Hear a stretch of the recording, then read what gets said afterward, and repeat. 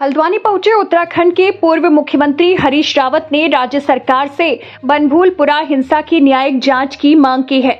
पत्रकारों से बातचीत करते हुए पूर्व मुख्यमंत्री हरीश रावत ने कहा कि इस पूरे घटनाक्रम की न्यायिक जाँच हो और जिन लोगों का भी इस घटना के पीछे हाथ हो, उनको सजा मिलनी चाहिए।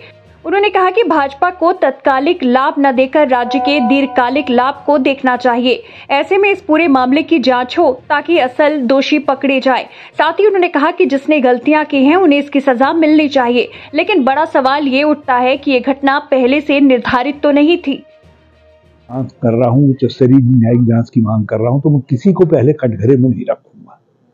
ये ये काम हम उस जाँच के ऊपर छोड़ना चाहेंगे और मैं मुख्यमंत्री जी से भी कहना चाहूँगा कि यदि भाजपा तत्कालिक लाभ न देखे तो राज्य के दीर्घकालिक हित में आवश्यक है कि इस घटना की उच्च न्यायिक जाँच हो, ताकि असली कारण भी समझ में आ जाए और असली गुनाहगार भी सामने आ जाए।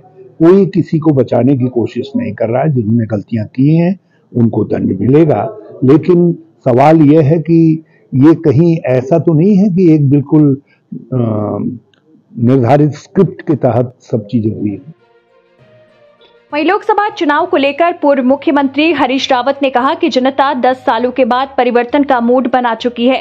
2024 के लोकसभा चुनाव से पहले जैसा भी उथल पुथल का माहौल देश के अंदर चल रहा हो, उसका कोई भी असर नहीं पड़ेगा, क्योंकि जनता ने परिवर्तन का मूड बना लिया है और 2024 में कांग्रेस की सरकार बनने जा रही है।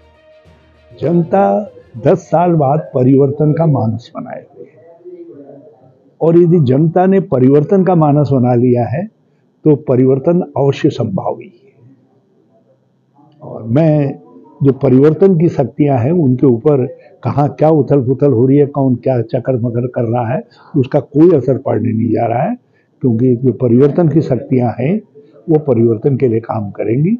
और 2014 में हमने देखा 2004 में हमने देखा जब जब परिवर्तन की धारणा बनती है तो फिर जनता अगुवाई करती है।